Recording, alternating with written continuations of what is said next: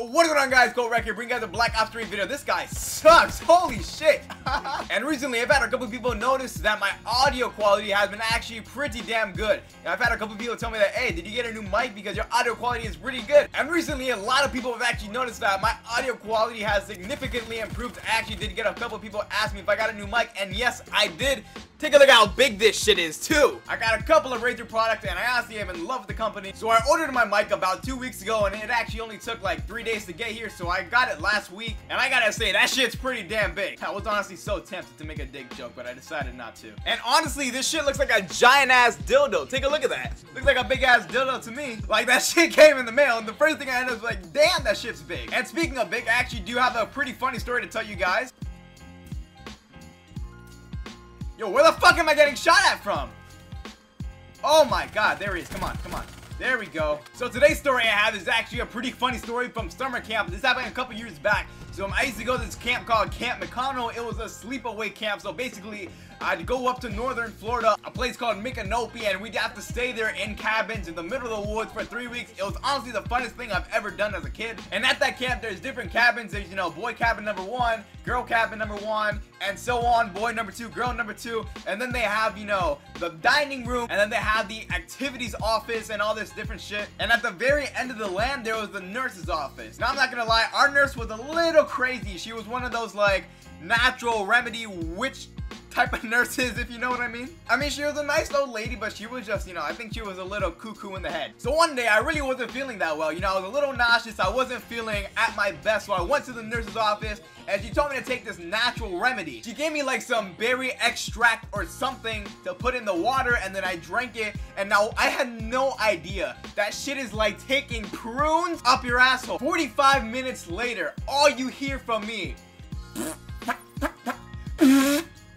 I fucking start passing gas constantly. And to make matters worse, I hadn't taken a shit in two days.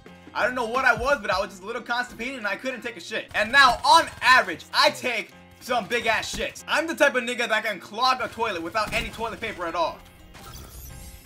Should I do it? I'ma do it.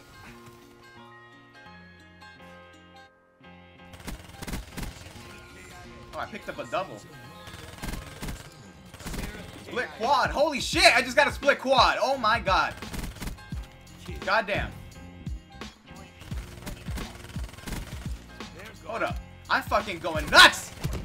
Where was I? Oh yeah, clogging toilets without any toilet paper. Yeah, my shits are literally that big. That shit looks like the bottom of a fucking...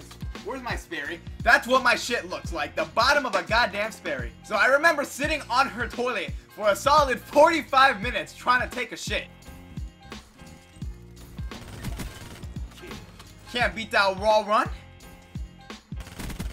So whatever the fuck she gave me, that shit made my poop come out like a damn stream of lava. And finally it stopped, but it was it was disgusting. It was it was absolute like terror movie. I know that I have the capability to clog toilets, so I always, even when I take a normal piece of shit, I always flush before I wipe my ass and put toilet paper in the toilet. But the fact that I took a massive shit and the fact that those toilets were many years old, it just, it didn't want to go down.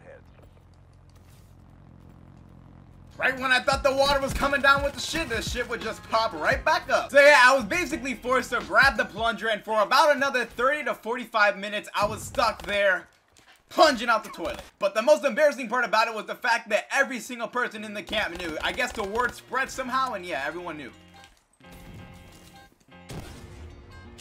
So lesson learned from me, I take half my shit, flush the toilet, and then take the other half of the shit. Anyways, guys, that's pretty much gonna wrap up the video. If you guys did enjoy, don't forget to leave a like, leave a comment. Hope you guys enjoyed this embarrassing slash funny story. It's been your boy Cole Rex, and I'll catch you guys next time. Peace. Hold up.